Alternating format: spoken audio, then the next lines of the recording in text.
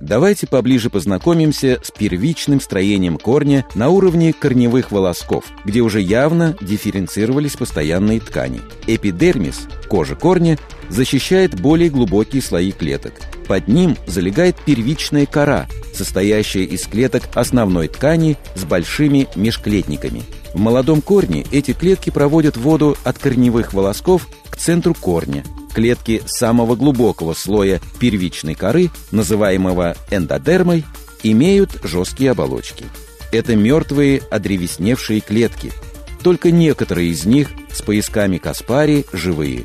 Они облегчают транспорт воды через эндодерму центральный осевой цилиндр, занимающий центральную часть корня. Первый слой осевого цилиндра – перицикл, дающий начало боковым корням – в самом центре осевого цилиндра расположены проводящие пучки группы ситовидных трубок флоэмы и сосудов ксилемы.